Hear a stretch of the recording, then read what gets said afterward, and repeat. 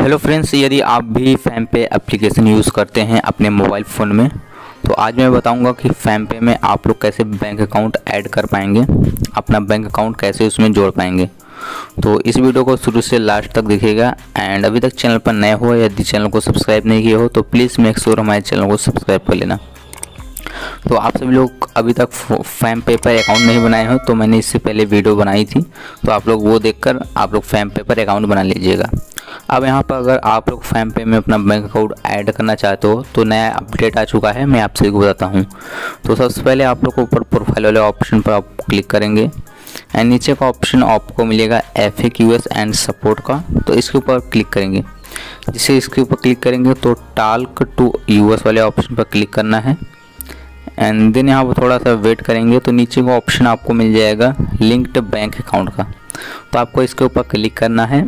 अब यहाँ पर ये सेंडिंग चला गया है। अभी उसमें मैसेज आएगा। तो यहाँ पर देख लीजिए, आ गया है how can I link my bank account या यूसू ढेर सारे ऑप्शन दिख गया है, ठीक है? तो how can I link my bank account तो मैंने एक क्यूरी यहाँ सेलेक्ट कर ली है और यहाँ पर एक ऑप्शन आ चुका है, मैं आपको पढ़ के बता देता हूँ। यहाँ पर लिखा है unfortunately if you only have one bank account linked to a FamPay right now you cannot unlink it we are working towards improving your experience soon in case you're more than one bank account linked please select bank account with your link and click on the remove account ठीक है तो इसमें आप लोग एक ही account link कर पाओगे fam पे में है यही सारा चीज़ दिया गया, आप लोग इसको यहाँ पढ़ लीजिएगा।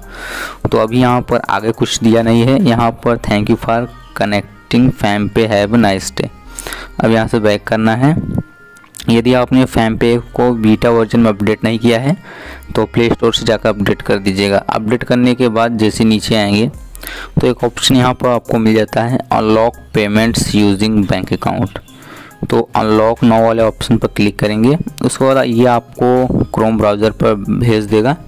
जैसे क्रोम ब्राउज़र पर आप लोग को भेजेगा तो ये देख लीजिए यहाँ पर लिख रहा है ज्वाइन द फैम पे। उसका बीटा प्रोग्राम तो बीटा प्रोग्राम में आ जाएँगे तो आप लोग को यहाँ पर नीचे क्या करना है व्हाट्स योर फुल नेम डाल देना है, और प्ले स्टोर की आई डाल देनी है।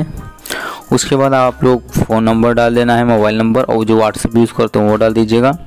और आपके पास बैंक अकाउंट है तो यस कर दीजिएगा। और कौन से डिवाइस में आप लोग यूज़ कर ले हैं वो डाल दीजिएगा। एंड देन आपको यूपीआई का यहाँ पर फैम पे डाल देना पड़ेगा। ठीक है? उसके बाद what do you want to the join the beta version क्यों ज्वाइन करना चाहते हैं? तो वो लिख कर सबमिट कर दीजिएगा। तो चलिए, इतना चीज़ हम पहले भर लेते हैं, उसके बाद आगे का प्रोसेस आपको बताते हैं। देन गाइज़ इतना करने के बाद आपको सबमिट वाले ऑप्शन पर क्लिक करना है।